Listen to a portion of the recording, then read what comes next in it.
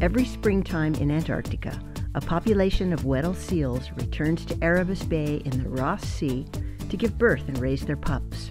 Weddell seals are the southernmost mammal on Earth. Weddell seals are found only in Antarctica. They're a true seal, Phocidae. They're one of the better diving marine mammals in the world. Can hold their breath for over 40 minutes and dive about 2,000 feet. We know them to be a seal that swims back in under the frozen sea ice and they come up through the tide cracks. And around here on these against these islands we have places where the, the ice is attached to the shoreline. And then out here the, the tide goes up and down a few feet. It's about a one meter tide maybe maximum in this area. And the, the seals use that diving ability to get back in here and come out through these tide cracks and exploit this area. Because Weddell seals travel so far under the sea ice where they access the surface, they are able to give birth where there are no natural predators that might prey on their vulnerable new pups. and every year a research team of scientists and graduate students based at Montana State University returns to Antarctica to study these seals. This research project is one of the longest running projects ever done on a long-lived mammal. There aren't a lot of projects done on long-lived species that have a 40-year database. For over 40 years, this project, with funding from the National Science Foundation, has focused on the population dynamics of these seals and how this population is affected by changes in their environment. There are two major aspects to this research work gathering data on seals in the field, and then analyzing these data using statistical models and methodology to make new discoveries. So there's two fundamental activities in the field season. The first half is focusing in on visiting all the colonies and tagging every pup, or almost every pup, that's accessible, that can be safely accessed, soon after they're born. Then the second half of the study period, we have very standardized surveys where we travel throughout the Erebus Bay, uh, all the colonies, all the sea ice, trying to find every seal that's hauled up in one day. We now know how long they live.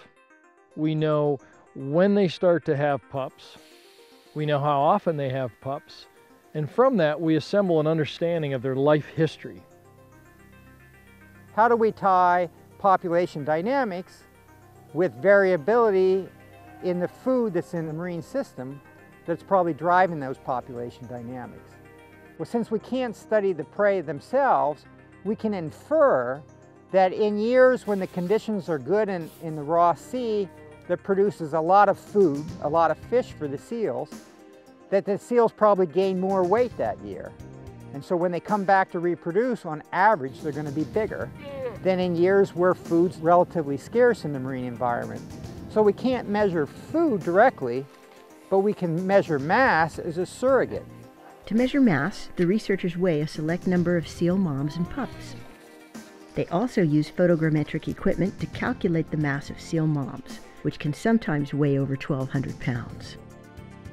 As scientists collect data, it's, it's very typical to start to observe patterns in the numbers and in the data. And from that come hypotheses. Ideas about how the world works comes from observing the world and sensing patterns in the data. The next step is really to take the data and formally test those ideas. And we do that through a variety of methods. A primary one that we use is statistical analysis, where we put our different ideas up as competing hypotheses or competing ideas, and then we evaluate which ideas are well supported by the data, which are sort of supported by the data, and which are very much not supported by the data. We try to let the data speak. And we do it formally to take ourselves out of that system to make it as an objective evaluation of the competing ideas as we possibly can as scientists. With this long-term information, what is learned about this functioning population of apex predator in this pristine marine environment can be used to better understand and manage other populations of long-lived mammals that are endangered or aren't doing as well. And this can enable us to become better stewards of our planet.